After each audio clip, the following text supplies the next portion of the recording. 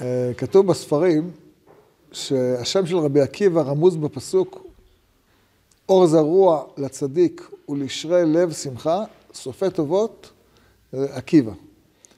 ויש בזה סוד גדול, אבל בשביל הסוד הזה צריך סיפור.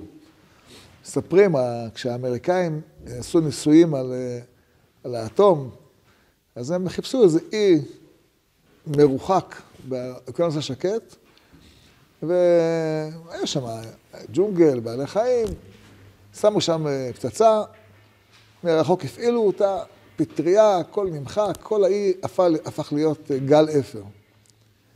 אחד מהחוקרים הגיע לשם אחרי כמה שנים, והוא רואה שכל האי שוקק חיים, עצים, הכל, התפלא איך כל האי הפך להיות אפר. מסתבר שהיו זרעים אה, שנטמנו, שלא לא נשרפו מהחום הגדול, באדמה, ומהם הכל צמח מחדש. זה רבי עקיבא. כשהיה חורבן גדול פה בארץ ישראל, הרומאים ניסו למחוק הכל, לחרוש את ירושלים, לשרוף לא רק את בית המקדש, את הנשמות שלנו. היה גרעין, רבי עקיבא ותלמידיו, שהם היו הזרעים שמהם עם ישראל צומח מחדש.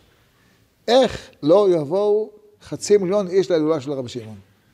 איך לא יבואו להילולה של רבי מאיר, של רבי עקיבא? זה החיות שממנה צמחנו. אנחנו כולנו מכירים טובה, טובה, תודה עצומה לצדיקים המיוחדים האלה, שהצליחו לשרוד את התופת הזאת של החורבן ולהצמיח את עם ישראל מחדש עם אור כזה גדול. זה האור של רבי עקיבא, שרואה את הכל באור, של רבי שמעון, הזוהר, של רבי מאיר, המאיר, של רבי שמעון, של רבי יהודה, חוכמת אדם תאיר פניו.